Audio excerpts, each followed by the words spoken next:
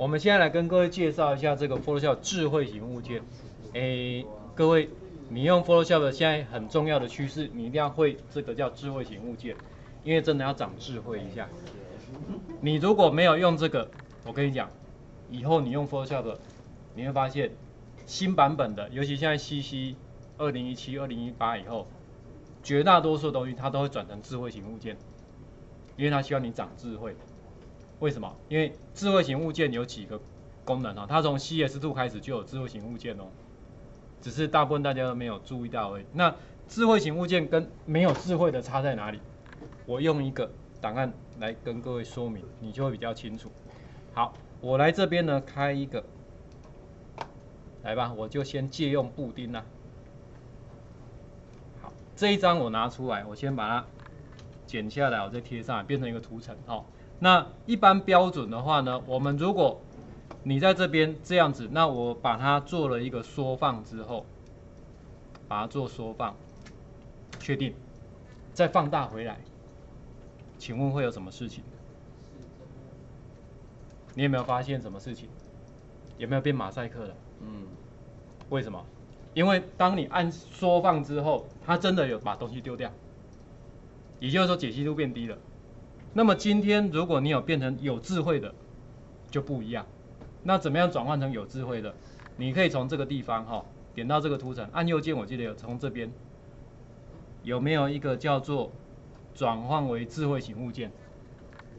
就是在这里，好，就在这边，你把它按按一下，有没有发现图好像不一样了？对不对？图是不一样的。这个时候呢，当我把它缩小，我把它缩的更小一点，再把它重新放大，放大，放大，放大。好，各位有没有发现解析度没有变？这样知道有没有智慧差在哪里了吗？这是第一个差别。也就是说，你有转换成智慧型物件之后，它会帮你保留原始的解析度。它不会直接把它变小，我们一般标准的 Photoshop 它就会直接缩小，这是第一个。第二个，你要去动它的时候，哎，平常割肉是一般的图层，你是不是直接在这边用这些工具就可以用？这些工具是可以编。可是你有没有发现，当我转换成智慧型物件之后，我现在用这些工具都是叉叉，有没有都是禁用的？为什么？因为你要编辑它的时候，现在不是在这里编。是点两下进去编，噔噔，我点两下，对不对？他就说，哎，待会你编辑内容，后把那个存档就好了。我按确定，请各位注意一下上面，刚刚布丁在这里有没有？这里有没有多一个跑出来？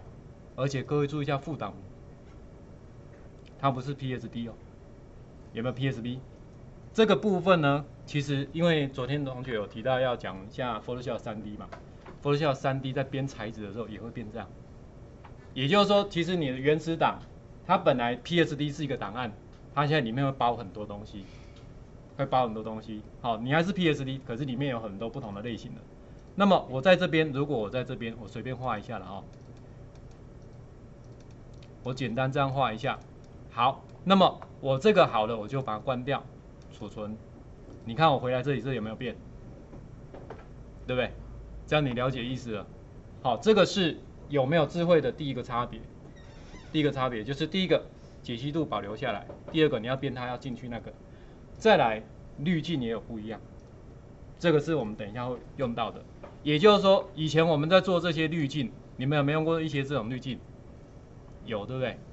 那你要知道哦，没有智慧的时候是很可怜的哦。我先把这个关掉，我先把它重新贴上。这个是原本的，有没有？这样你发现有智慧跟没智慧是图示不一样。现在呢，我们在这边，如果我在这边直接套了滤镜，好，比如说有马赛克好了，OK，你直接做了，万一你要后悔怎么办？现在还可以还原，对不对？但是你做了二十个步骤以上，或者档案关掉，就来不及了嘛。按那边弄，所以你知道为什么以前都会做一件事情，按着它丢到这里来保留一个，对不对？保留原始档。现在不一样，有这个东西之后，我再做一次刚刚那个滤镜哦，马赛克，对不对？你有没有发现，连滤镜也变有智慧了？有没有滤镜叫智慧型滤镜？这样有没有智慧加智慧会更厉害一点？其实重点在什么？智慧型滤镜就会变成像我们在用所谓的图层样式一样啊。今天马赛克不喜欢，关掉，有没有恢复原来的？马赛克数值要调整，噔噔，有没有又回来了？你就回来啊，太多了，回来小一点。因为原始的解析度有没有留下来？那 Adobe 呢，就是你现在所看到的这些功能，不是所有的都会变智慧型滤镜，但是越新版本会有越多资源。这样了解了？好，因为它需要导到这个边来了，导到这边来，所以其实很多时候，如果你从剪贴簿上直接贴到 Photoshop 里面的话，它会自动帮你转换成智慧型物件，只是你没有特别注意。这样。对智慧型物件有没有比较了解的？OK。